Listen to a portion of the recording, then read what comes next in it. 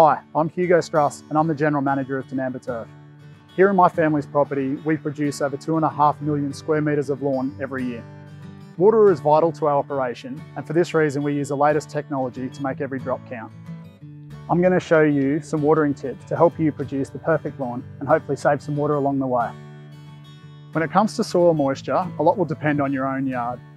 A slope, the season or your soil type, but I like to use a broad rule of thumb. You need to be watering your lawn once to twice a week and a little less during winter. I often talk to people who think more regular watering is best, but this will only encourage shallow root growth. You want to water deeply and less often to encourage the roots to chase the water deep down underground. A deep root system will keep your lawn looking its best during tough periods like drought. It will also mean there's less water required in the long term. It's best to water in the early mornings to reduce the chances of evaporation and any fungal diseases. When it comes to watering your lawn, if it looks wet and sodden, it's had enough.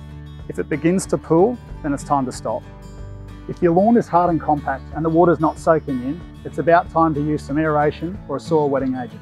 This is just one tip to help keep your lawn looking legendary.